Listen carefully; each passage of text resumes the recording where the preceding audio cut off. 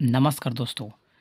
आज हम देखने वाले हैं जो हमारा हाउस वायरिंग होता है, उस हाउस वायरिंग में किस कौन कौन सा स्क्वायर एमएम का वायर यूज़ करते हैं, उसके बारे में आज हम देखने वाले हैं कि अपना जो, हमारा जो घर का हाउस वायरिंग जो होता है, उसमें फ़ैन में किस एमएम का वायर का उपयोग करते हैं, इसी के लिए कौन सा स्क्वायर एमएम का वायर करें यूज़ करें पंखा के लिए आयरन के लिए हीटर के लिए, गीजर के लिए, ये सभी के बारे में आज हम जानेंगे कि हमारे जो घर का जो वायरिंग है, उसमें कौन कौन सा वायर का उपयोग करते हैं, ताकि दोबारा से हमें और कोई उसमें वायर डालने के लिए और मतलब और झंझट पालना ना पड़े।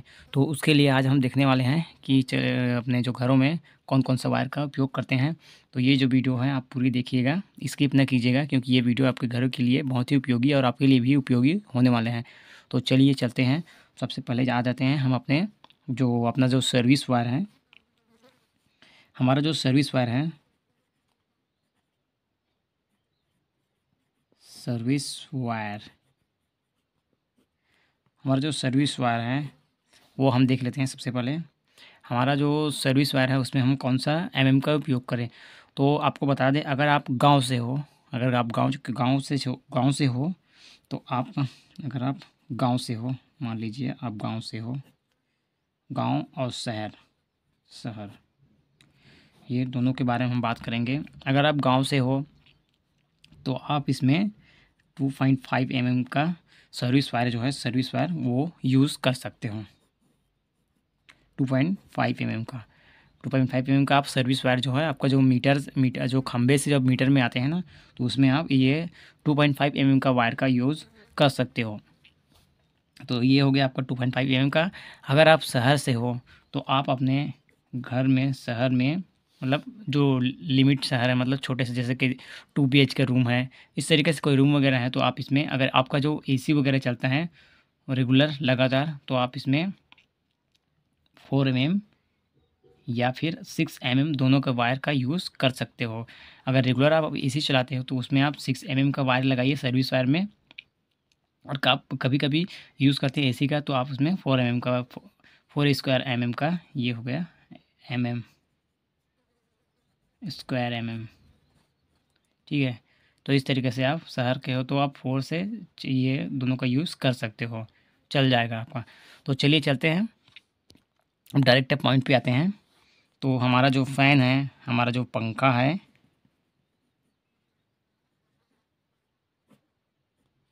सॉरी, पंखा लिख देते हैं यहाँ पे। पंखा ब्रैकेट में आपका फ़ैन। जो आपका जो फ़ैन है, सबसे पहले फ़ैन के बारे में देख लेते हैं। फ़ैन में आप कौन सा एम एम स्क्वायर एम का वायर का यूज़ करते हैं? तो आप इसमें वन जो आपका सीलिंग फ़ैन वगैरह one square M M wire का यूज़ आप कर सकते हो। ये इसके लिए बेस्ट होता है। दोनों के लिए आप शहर आप शहर से हो या फिर गाँव से हो तो वन एम स्क्वायर का वायर आप पंखा के लिए यूज़ कर सकते हो। उसके बाद आते हैं, आपका एसी के लिए है। एसी एसी के लिए। देखिए एसी के लिए आप अगर गाँव से हो तो आप two point five M M का यूज़ कर सकते हो, जो आप कभी कभी चलाते हो एसी वगैरह।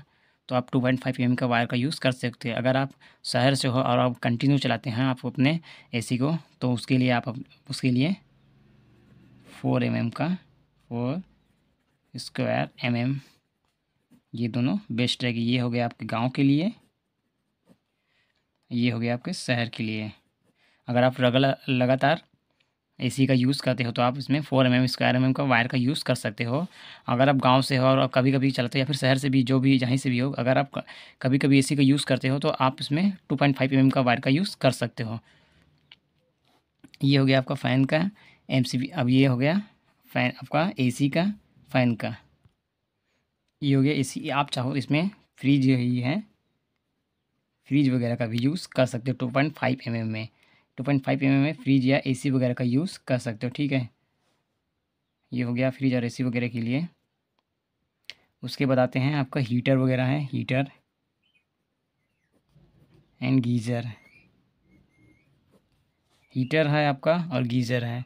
तो इसके लिए आप फोर जो होता है फोर स्क्वायर एम एम कहीं भी हो इसका यूज़ कर सकते हैं। इसका जो वायर का यूज़ कर सकते हो। फोर स्क्वायर एम का वायर का यूज़ आप बोर्ड से अपने हीटर या फिर गीजर के लिए फोर एम स्क्वायर का वायर होता है, वो बेस्ट माना जाता है, ठीक है? तो इसका यूज़ आप इसके लिए कर सकते ठीक है, इस तरीके से ये हो गया। इसमें आप एसी वगैरह में आपको इसका मिक्सी वगैरह का भी यूज़ इसमें कर सकते हैं। इसमें आप टू पॉइंट फाइव एम में मिक्सी का यूज़ भी कर सकते हो। हीटर जो कि बड़े बड़े जो होते हैं हीट करने के लिए उसका यूज़ कर सकते हैं। आप इसमें इंडक्शन वगैरह का four M M, square M का वायर का यूज़, आप इसमें इंडक्शन जो है उसका भी यूज़ कर सकते हो। इसमें इंडक्शन का यूज़ कर सकते हो। इसमें इंडक्शन। इंडक्शन इंडक्शन का यूज़ कर सकते हैं इसमें। ये वाला four M M square M M के वायर में इंडक्शन का। ये ढाई एम एम के वायर में भी यूज़ कर सकते हो, लेकिन ये इससे ज़्यादा बेटर ये फोर एम एम का जो स्क्वायर है, ये होता है। अब बात करते हैं आपका जो एम सी बी जो मेन सर्किट बोर्ड होता है।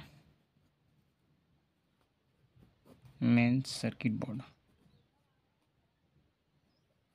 kit board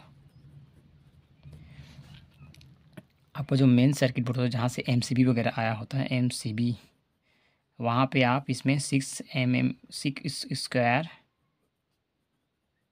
M M का वायर का यूज़ कर सकते हो। अगर आप शहर से हो तो अगर आप आप अगर गाँव से हो तो आप उसके लिए टू उसके लिए आप फोर एम एम का फोर स्क्वायर एम एम का वायर कर सकते हो। ये होता है गाँव के लिए और ये शहर के लिए। गाँव शहर के लिए इसलिए बोल रहे हैं क्योंकि गाँव में कभी कभार यूज़ करते हैं, लेकिन शहर में लगातार कंटिन्यूटी यूज़ करते रहते हैं। और इसमें ज़्यादा लोड पड़ता तो इसलिए आप आप सिक्स स्क्वायर एम का वायर का यूज़ आप शहर में कीजिएगा और ये गाँव के लिए है। तो इस तरीके से इसका जो होता है, अब आते हैं कमरे में, जो यहाँ से हम जो वायर लेके जाएँगे कमरे में तो उसमें कौन सा एम का वायर का यूज़ करें? ठीक है, ये तो एमसीबी ये तो आपका मेन सर्किट बोर्ड के लिए है, ये है, ये इंडक्शन वगैरह के लिए हो गया, ये ये सब के लिए हो गया, गीजर वगैरह के लिए। जहाँ पे आपका एसी वगैरह है एसी वगैरह है, वहाँ पे आपको तो टू पॉइंट फाइव एम का ही वायर का लेकर जाना पड़ेगा। और हीटर वगैरह जहाँ पर है तो वहाँ पे फोर एम का वायर का यूज़ लेके जाना पड़ेगा। तो इस इस तरीके से इंडक्शन वगैरह के लिए भी और वहाँ पर आपका जो बोर्ड है, वहाँ पर पावर पावर बोर्ड लगाना पड़ेगा, जहाँ पर आपका हैवी लोड है, वहाँ पर एसी वगैरह के लिए फ्रिज वगैरह के लिए हीटर वगैरह के लिए, इन सब के वहाँ पे आपको पावर बोर्ड लगाना पड़ेगा। और पंखा फ़ैन वगैरह के लिए आप टू पॉइंट फाइव एम का वायर का स्क्वायर का जो होता है स्क्वायर ये वायर आप अपने रूम तक लेके जा सकते हैं। सिंपल आपका रूम तक ये वायर लेके जाते हैं, क्योंकि पंखे के लिए ये ये यूज़ कर सकते हैं। और आपका जो लाइट वगैरह है, लाइट, आप लाइट वगैरह के लिए भी two point five M M square M M का वायर का यूज़ कर सकते हो। आपका जो बेल वगैरह होता है, जो घर के बाहर लगा होता है, उसमें भी आप two point five M M square M M का वायर का यूज़ कर सकते हैं। तो एक बार और आपको अच्छे से बता देते हैं। सबसे पहले आपको मेन सर्किट बोर्ड के बारे में बता देते हैं। अगर आप गाँव से हो सॉरी अगर आप शहर से हो तो आप six square M M wire का यूज़ कर सकते हो। आपके मेन सर्किट बोर्ड है वहाँ के लिए। क्योंकि इसमें हैवी लोड होता है, आप इसमें एसी भी चलाओगे फ्रिज भी चलाओगे लगातार कंटिन्यूटी आप चलाते रहोगे तो इसमें हैवी लोड पड़ेगा। तो इसके लिए आप सिक्स स्क्वायर एम का वायर का यूज़ कर सकते हैं। वही गाँव से हो तो आप फोर एम एम के स्क्वायर एम का वायर का यूज़ कर सकते हैं। अगर आप एसी वगैरह तो चलिए चलते हैं एक बार और आपको अच्छी तरीके से बता देते हैं। सबसे पहले आपका हो गया फ़ैन हो गया, आपका जो पंखा होता है, आपका जो पंखा होता है, उसके लिए आप वन स्क्वायर एम एम का वायर का यूज़ करेंगे पंखा के लिए। एसी हो गया आपका, एसी एंड फ्रीज हो गया आपका। इसके लिए आप एसी और फ्रीज के लिए आप two point five M M square M M का जो स्क्वायर एम का वायर कर सकते हैं। ये हो गया आपका गाँव के लिए शहर के लिए आप four square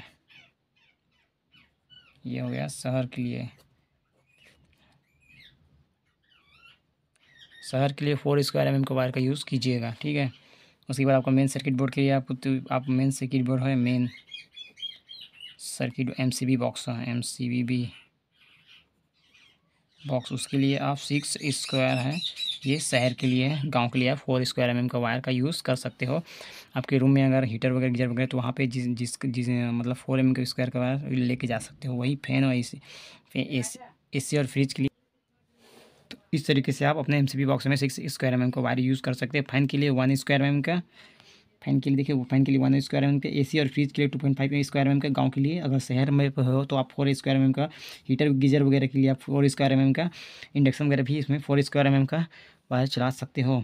main circuit board है आपका तो गाँव के लिए फोर स्क्वायर एम एम का शहर के लिए सिक्स स्क्वायर एम का यूज़ कर सकते हो। तो, तो इस तरीके से ये हमने आशा करते हैं कि आपको अच्छे तरीके से समझा दिया अगर आपको अच्छे समझ में नहीं आएगा तो आप हमें कमेंट करके और पूछ सकते हैं। आप जब चलिए चलते हैं फिर मिलेंगे।